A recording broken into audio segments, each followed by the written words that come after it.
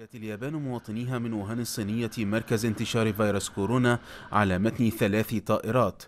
وقد تأكد في اليابان حتى الآن 15 حالة إصابة معظمها بين العائدين من ووهان وفيما يشكل هذا التفشي تحديات للحكومات والقطاعات الصحية والاقتصادية فإنه يخلق فرصا تجارية كبيرة لشركات المنتجات الطبية.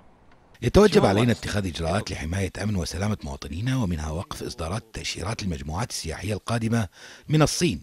كما ندرس التأثير الاقتصادي المتوقع جراء هذه الأزمة. وبينما يتزايد الخوف في اليابان بعد تسجيل أول إصابة بين العائدين من ووهان تضاعفت الطلبيات التي تتلقاها شركات المستلزمات الطبية اليابانية حوالي عشرين مرة عن المعتاد سواء من العملاء المحليين أو الدوليين. هو ارتفاع مشابه لما حدث خلال التفشيات السابقة مثل فيروسي ميرس وسارس. وتكافح متاجر الأدوية في اليابان لإعادة تزويدها بهذه المنتجات.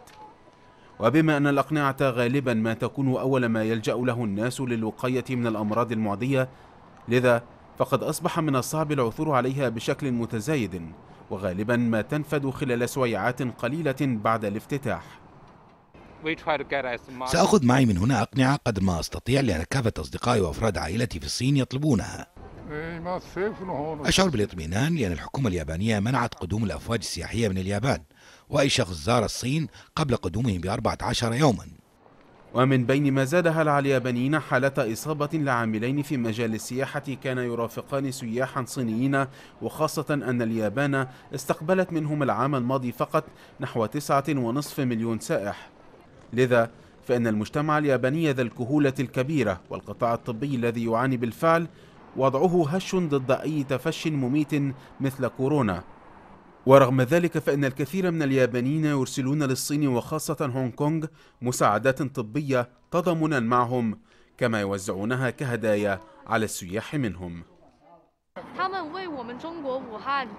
أشعر بالامتنان للشعب الياباني لتضامنه مع محنتنا في الصين. وأشكرهم على هذه الهدايا القيمة من الأقنعة الواقية التي أصبحت قليلة في بلد الصين. مع تسارع وتيرة تفشي فيروس كورونا واتساع رقعته تكافح الشركات اليابانية لتلبية الطلبيات المتزايدة على منتجاتها من المستلزمات الطبية محليا وعالميا. للإخبارية معتز العقاد طوكيو.